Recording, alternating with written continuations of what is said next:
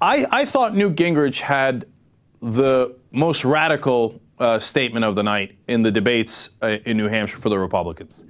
Uh, not when they were asked about, hey, shouldn't there be any repercussions for the people in Wall Street who crashed our economy, et cetera? Now, Gingrich did what he's been doing over the last couple of weeks, which is, oh, I totally understand what Occupy Wall Street's saying. And, you know, uh, the people in government gave these bankers and everybody else these unnatural advantages. So he's taking something that is true and then twisting it. So that part is true. Bernanke and Geithner that he names absolutely helped the bankers rob us blind, right?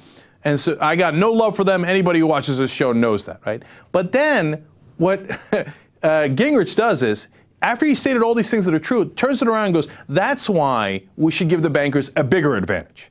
We should not regulate them at all. We should let them take all the risk and if they crash, what's Gingrich going to do? He's going to bail them out again. Okay.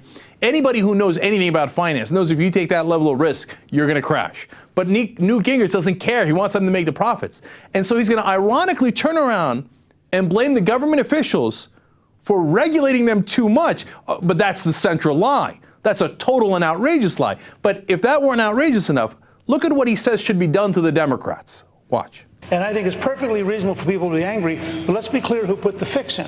The fix was put in by the federal government. And if you want to put people in jail, I want to second what Michelle said. You ought to start with Barney Frank and Chris Dodd, and let's look at the politicians who created the environment, the politicians who profited from the environment, and the politicians who put this country in trouble. Clearly, you're not saying they should go to jail. Well, in Chris Dodd's case, go back and look at the countryside deals. So, in Barney Frank's case, go back and look at the lobbyists he was close to at, at, at, uh, at uh, Freddie Mac.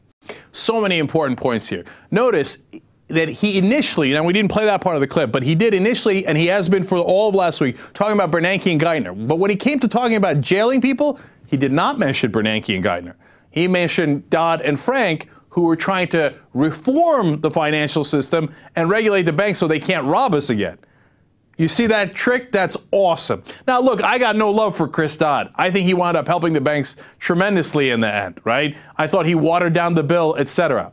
Do I think he should go to jail for that? No. Jail is when you commit fraud.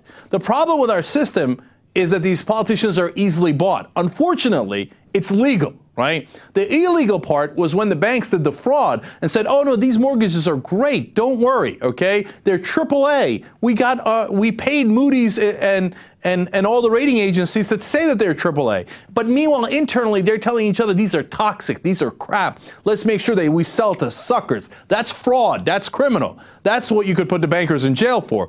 The government officials have been bought all along, and that's why we need to fix that system.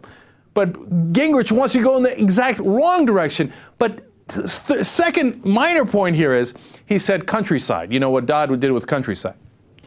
How are these guys this unprepared? It's countrywide.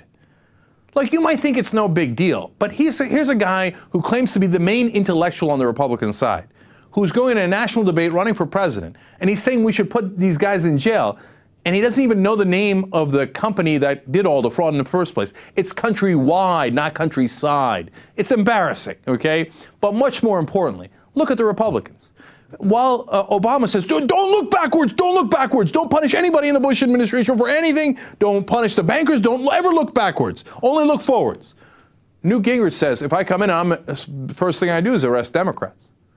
He's going to look backward and going to go arrest politicians of the other party. So how's that being nice to Republicans working out for the Democrats? Does that seem to be a good idea? This is what you get in return.